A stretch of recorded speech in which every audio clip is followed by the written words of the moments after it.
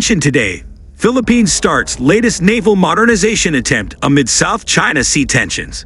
Amid increasing tensions in the South China Sea with China and fears of how a conflict over Taiwan could jeopardize the country's territories in the Luzon Strait, the Philippines is looking to prioritize its naval forces in a revised military modernization plan.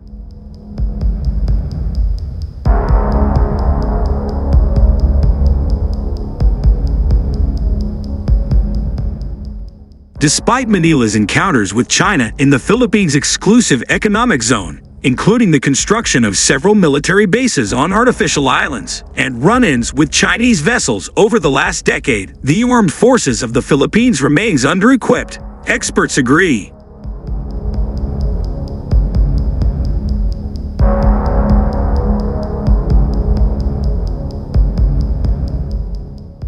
The Philippine Navy has lagged behind many of its Southeast Asian peers for decades as a consequence of relative neglect as the country focused then heavily on internal security. This also resulted, most crucially, a neglect of the country's maritime domain. Philippine maritime interests, especially in the West Philippine Sea, have been compromised. Collin Koh, a research fellow at the Institute of Defense and Strategic Studies under the S. Rajaratnam School of International Studies in Singapore, told USNI News.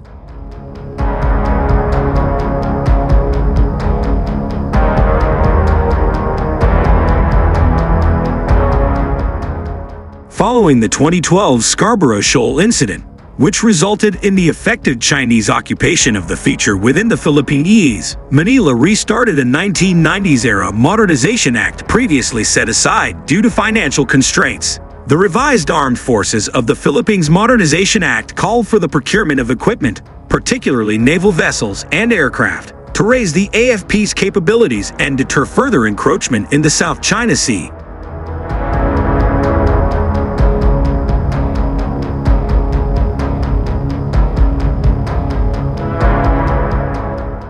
The Philippine Navy was set to spend over $40 billion on procurements in two four-year and one five-year-long phases, known as Horizons, between 2013 and 2028.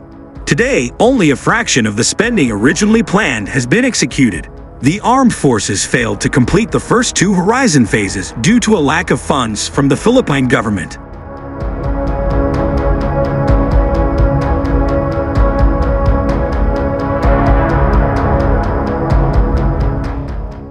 The funding shortfall appended the Philippine Navy's Strategic Sail Plan 2020. The 2012 modernization plan called for the service to procure six anti-air warfare frigates, 12 anti-submarine corvettes, 18 offshore patrol vessels, 42 missile boats, and three attack submarines, as well as various amphibious and auxiliary vessels.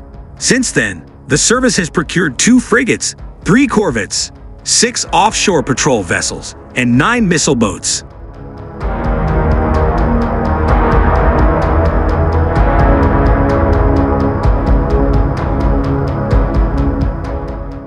As tensions with China have risen over the last year, Manila has started to revise its plan. Following incidents at Scarborough Shoal, Second Thomas Shoal, and elsewhere in the South China Sea in 2022 and 2023, the Philippines has bolstered its naval deployments to the region. Philippine lawmakers also pledged increased funding for the Navy and Coast Guard,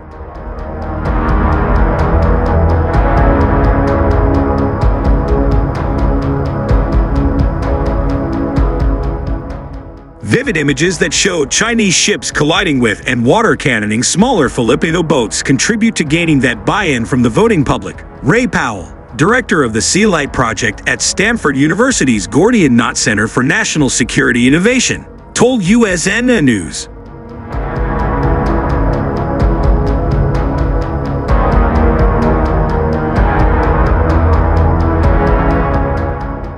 Manila's asserted transparency campaign of 2023 pushed military modernization from one of many budget line items to a national imperative.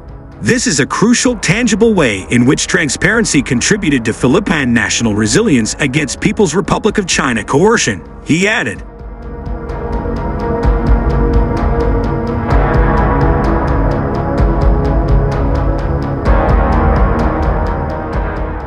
In January, Philippine President Ferdinand Marcos Jr. approved the $35 billion acquisition list put forward by the Armed Forces of the Philippines for a revised version of Horizon 3 almost equivalent to the total cost projected for by the original program.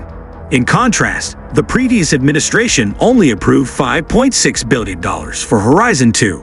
Dubbed Re-Horizon 3, this revised phase seeks to not only obtain new equipment, but also remove inefficiencies, streamlining the procurement process and developing a better defense strategy.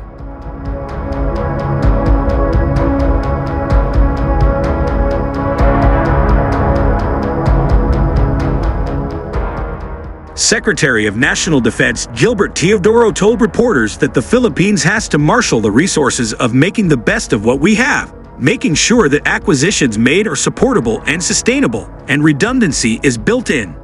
We have said that the AFP and Department of National Defense will not be a vendor's paradise. We will not consider ourselves a vendee but a client. We will demand performance from all our proponents, Teodoro said in a Philippine Daily Inquirer article.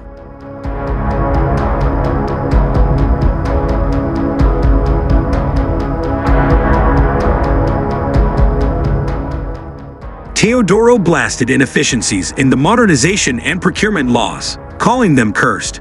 Alongside Re Horizon 3, the new comprehensive Archipelagic defense concept put forward by Philippine defense officials brings an increased emphasis on naval and air forces for the defense of the country.